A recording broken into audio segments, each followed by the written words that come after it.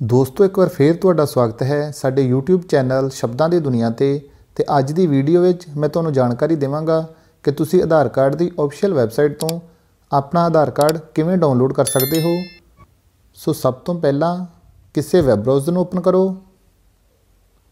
ਇਸ ਵਿੱਚ ਟਾਈਪ ਕਰੋ UIDAI ਤੇ ਸਰਚ ਕਰੋ। ਆਧਾਰ ਕਾਰਡ ਦੀ ਅਫੀਸ਼ੀਅਲ ਵੈਬਸਾਈਟ uidai.gov.in ਇਸ ਤੇ ਕਲਿੱਕ ਕਰੋ।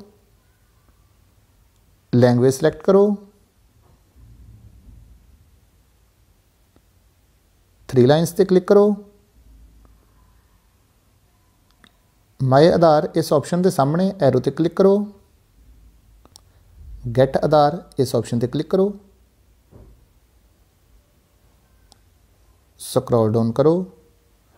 ਡਾਊਨਲੋਡ ਆਧਾਰ ਇਸ ਆਪਸ਼ਨ ਤੇ ਕਲਿੱਕ ਕਰੋ।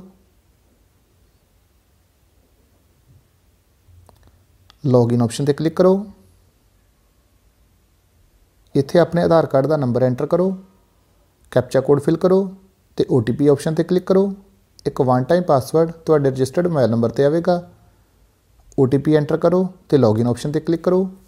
ਤੇ ਤੁਸੀਂ ਆਧਾਰ ਕਾਰਡ ਦੀ ਸਾਈਟ ਤੇ ਲੌਗਇਨ ਕਰ ਲਵੋਗੇ। ਉੱਥੋਂ ਤੁਸੀਂ ਆਧਾਰ ਕਾਰਡ ਨੂੰ ਡਾਊਨਲੋਡ ਕਰ ਸਕਦੇ ਹੋ। ਸੋ ਦੋਸਤੋ, ਜੇਕਰ ਵੀਡੀਓ ਵਿਚਲੀ ਜਾਣਕਾਰੀ ਚੰਗੀ ਲੱਗੇ ਤਾਂ ਵੀਡੀਓ ਨੂੰ ਲਾਈਕ, ਸ਼ੇਅਰ ਤੇ ਕਮੈਂਟ ਜ਼ਰੂਰ ਕਰਨਾ ਤੇ ਸਾਡੇ YouTube ਚੈਨਲ ਸ਼ਬਦਾਂ ਦੀ ਦੁਨੀਆ ਨੂੰ ਜ਼ਰੂਰ ਸਬਸਕ੍ਰਾਈਬ ਕਰੋ। ਮਿਲਦੇ ਹਾਂ ਕਿਸੇ ਨਵੀਂ ਵੀਡੀਓ ਨਾਲ। ਤਦ ਤੱਕ ਲਈ keep learning learn more thank you